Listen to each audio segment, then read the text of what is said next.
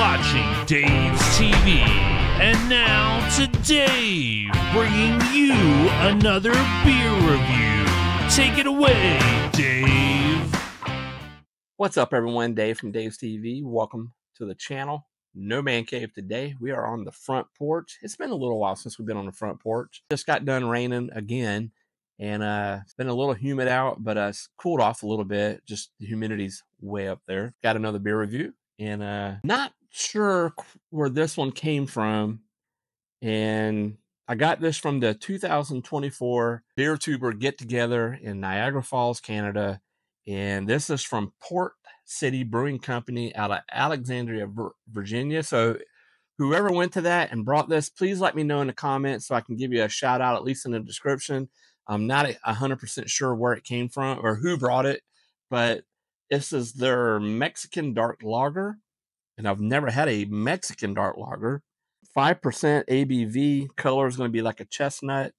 And that is what it looks like. So I've never had a Mexican dark lager. I've had some dark lagers, but not a Mexican. So this thing's been sitting out just for a couple minutes and it's already sweating really bad. So get to it before it gets cold or cold before it gets hot. Dave, what are you talking about? Uh, not as dark as I thought it was going to be. It is a amber color. Of swirl it around a little bit. All right. Hadn't used this cup in a while. The old Dave's TV. Looks darker on the monitor than it does. Um, it's darker than a Mexican, a normal Mexican lager. I will give them that, but it's not a super dark color. It's just an amber color, an off-white head. So let's put a nose on it. Smells pretty darn good. I love Mexican lagers. Getting a breadiness, slight maltiness, slight sweet smell to it. That's about all I'm getting. Oh, wait a minute. Uh, smokiness to it also. Slight smokiness. Smells pretty darn good. I'm tired of talking about it, guys. And I'm tired of sniffing. Let's try it out. Cheers, everyone.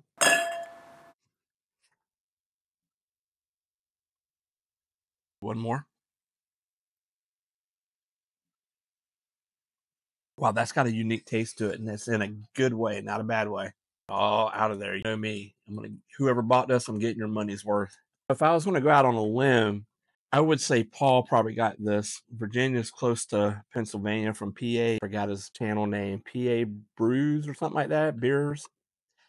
I'll put his information down in the description too. But Paul, let me know for sure. I'm going to mention you in this video, so maybe it'll pop up. I'm going to go out on a limb and say he brought that. So there's a good look at it. So let me know, Paul. Get back to the beer. Man, cooled off a lot, man. It's still not cold or anything, but it's it's better than 100 degrees. Right off the bat, you get a slight sweetness. It's not overwhelming. It has a slight smokiness to it. I like that. It's not a lot. It complements it. Got a medium mouthfeel. Carbonation is great in it. Overall, this is my first Mexican dark lager, to the best of my knowledge. I like this. I really like this. Got a, almost like a caramel taste to it. Man, I like this. I can drink a few of these. Five what? Five percent ABV. I could drink a couple of these.